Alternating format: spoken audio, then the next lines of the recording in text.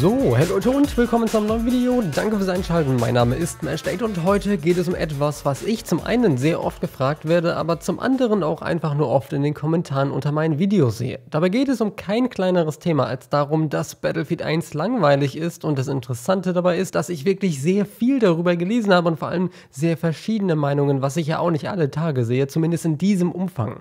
Auch in meinen Streams werde ich immer häufiger darauf angesprochen und auch dort habe ich über die letzte Zeit einfach versucht herauszufinden, welches Muster dahinter steckt. Welche Art von Spieler findet das Spiel denn langweilig oder welche Art von Spieler findet es spannend? Und vor allem, warum findet der Spieler, der das Spiel langweilig findet, das Spiel überhaupt langweilig? Welche Gründe kann das haben? Und genau das sind so im groben die Fragen, die ich heute etwas beantworten und analysieren möchte. Bevor wir aber so richtig anfangen, muss ich auch noch was anderes dazu sagen, denn ihr wisst es vielleicht, dass ich auch schon vor der Veröffentlichung in der Lage war, Battlefield 1 anzutesten, indem mich EA eingeladen hat und naja, damals war das zwar nur eine leise Vermutung von mir, aber ich hatte auch schon irgendwie davor gedacht, dass Battlefield 1 vielleicht etwas langweiliger als andere Teile der Serie empfunden werden könnte. Das liegt zum einen am Umfang und der Wirkung des Spiels. Auf mich hat das Spiel zum Beispiel seit der ersten Stunde nicht unbedingt wie ein Battlefield 4 gewirkt. Also jetzt natürlich nicht im Sinne des Artstyles oder des Gameplays, denn das eine ist Modern Warfare, das eine eben nicht. Also das, ist, das sollte klar sein, darum geht es nicht. Es geht wirklich nur um die Detailtiefe und genau diese Detailtiefe wird wohl auch der Grund für viele sein, warum sie das Spiel jetzt eventuell nicht mehr so spannend finden.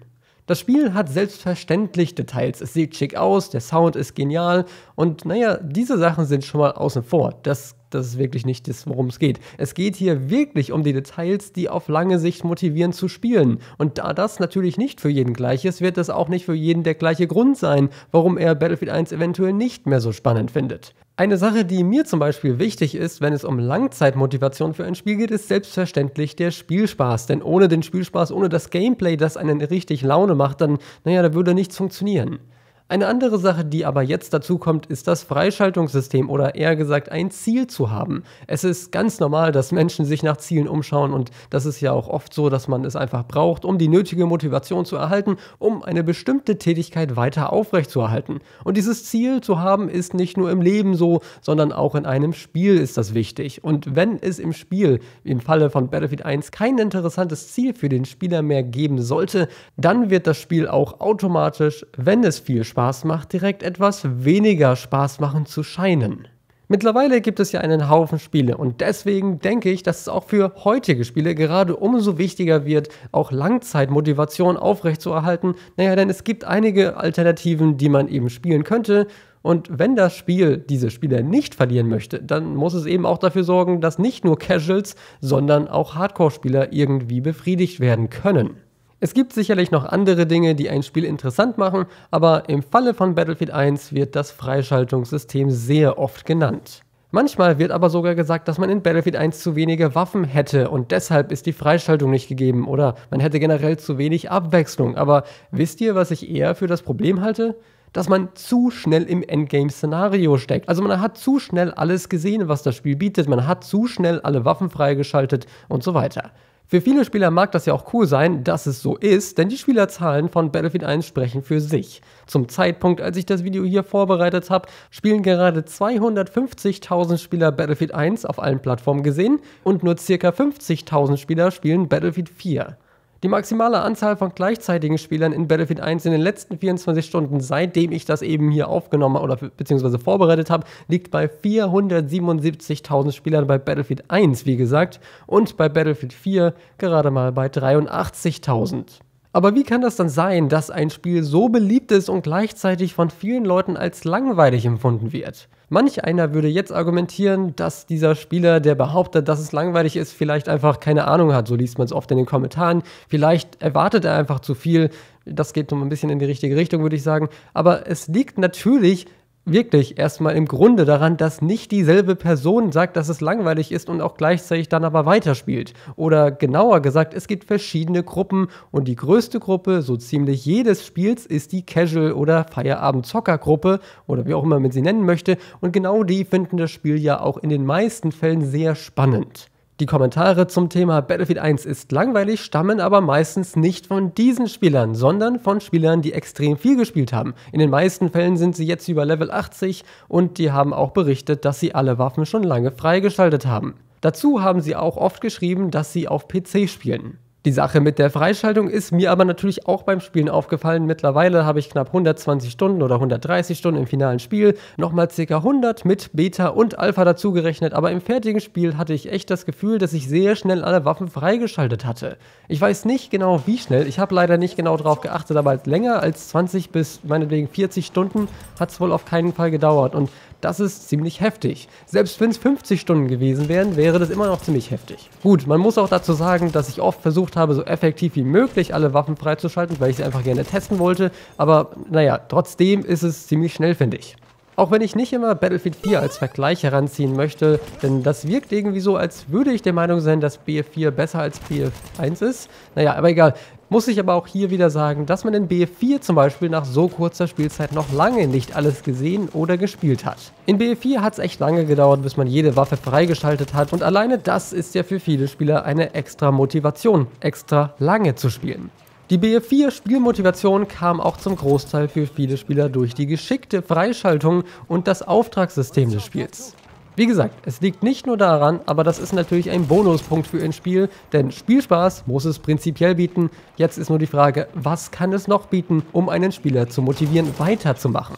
Die Kommentare zum Thema BF1 ist langweilig kamen übrigens auch fast ausschließlich von Spielern, die auch sehr viel Battlefield 4 gespielt haben. BF4 hatte wie angesprochen sehr viel zum Freischalten. Alleine die Waffen alle freizuschalten dauerte in der Regel sehr lange. Dazu kamen jetzt noch unzählige Waffenaufsätze und die hat man in BF1 direkt oder nach sehr kurzer Spielzeit über die Klassenränge und der jeweiligen Waffenversion freigespielt. Es ist jetzt wirklich sehr schwer, hier irgendwie einen Punkt zu machen, aber ich persönlich finde Battlefield 1 nicht unbedingt langweilig. Aber es motiviert mich als Spieler sehr wenig, genauso viel weiter zu spielen, wie ich es anfangs auch noch gemacht habe. Und das nicht, weil es mir einfach keinen Spaß mehr macht, sondern weil mir das Ziel fehlt. Mir fehlt es, irgendwas freizuspielen, obwohl ich es niemals nutzen werde. So blöd das jetzt klingt, aber genau das ist wohl das Ergebnis aus Spielen, die uns an etwas gewöhnt haben, was wir jetzt für den Standard halten. Wer also Battlefield 4 gespielt hat und jetzt zu Battlefield 1 gewechselt hat, dem wird das wahrscheinlich früher oder später auch genauso ergehen oder zumindest ähnlich, denn Battlefield 4 hat uns darauf trainiert und konditioniert, dass wir immer schön viel freizuschalten haben. Wie gesagt, das ist jetzt nicht der einzige Grund, warum man etwas spielt, aber es macht natürlich einen nennenswerten Teil der Motivation gerade im Langzeitbereich aus. Ist Battlefield 1 also langweilig? Ich würde erstmal generell sagen, dass es das nicht ist und viel wichtiger, man sollte nie vergessen, dass jeder seinen eigenen Grund hat, warum er etwas spannend findet. Genauso findet natürlich jeder andere Gründe, warum er etwas zum Beispiel nicht mehr spannend finden könnte.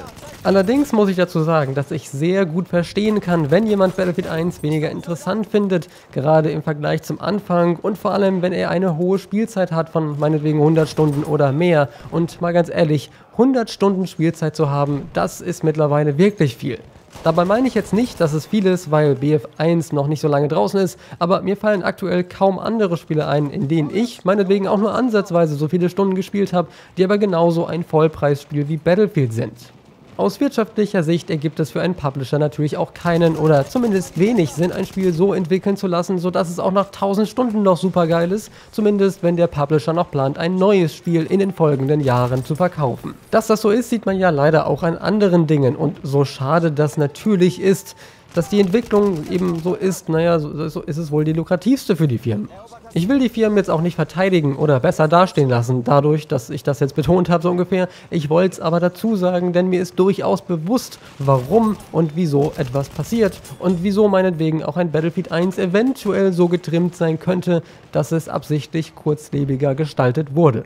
Eigentlich könnte ich hier noch um einiges länger über dieses Thema reden, denn ich finde es wirklich spannend und ich weiß auch gar nicht wieso so richtig und ich hoffe natürlich auch ihr hattet euren Spaß am Video. Auch wenn das Video jetzt nicht dabei helfen wird, dass man mehr Spaß am Spiel hat, so wird man sich vielleicht einfach etwas bewusster über das Wieso, Weshalb und Warum und das interessiert mich persönlich sehr, wenn es um sowas geht. Interessieren würde mich jetzt an dieser Stelle auch noch eure Meinung, denn nach so vielen Überlegungen von meiner Seite würde ich gerne von euch wissen, was ihr dazu denkt und vor allem, was würdet ihr vorschlagen, um Battlefield 1 interessanter zu machen? Meine grobe Idee wäre da auch wieder das Freischaltungssystem. Man sollte den Spielern mehr sinnvolle Ziele geben, zum Beispiel wie Aufträge in Battlefield 4. Und auch wenn es sowas in der Art in Battlefield 1 gibt, so fehlt mir ein ganz großer Teil der Motivation, diese Medaillen überhaupt zu machen, denn durch die Medals bekommt man XP und nichts anderes. Und ab einem bestimmten Punkt will man ja gar keine XP mehr, denn XP bringen ein Level up, aber durch das Level up bekomme ich ab dem erwähnten Punkt ja eh nichts mehr. Wichtiger wäre also für mich zum Beispiel, dass man mit der Medal zum Beispiel eine bestimmte Tarnung freischalten kann oder ein Battle Pack. Irgendwas. Es muss irgendwas geben, worauf man als Spieler wirklich hinarbeiten kann. Und es sollte nicht alles einfach hinterhergeworfen werden. Und naja, im Falle der Battle Packs sollte es vielleicht auch nicht random sein. Denn, naja, keine Ahnung, für mich fühlt sich das nicht wirklich gut an, wenn ich einfach random was hinterhergeschmissen bekomme. Ich würde es viel lieber einfach erspielen.